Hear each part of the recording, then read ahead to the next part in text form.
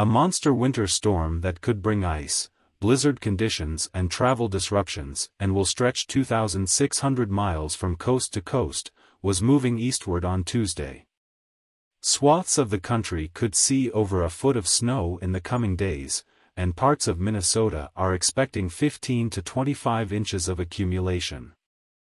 The northern Rockies and northern plains were feeling the effects of the initial stages of the storm Tuesday morning.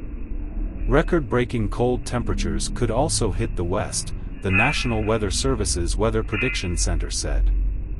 Those readings could extend from the west coast to the northern plains later this week. Flash freezes are possible in the northern Rockies, officials warned. Travel disruptions are also likely as dangerous conditions hit cities from Milwaukee and Detroit to the suburbs of Boston, according to AccuWeather. Here's what you need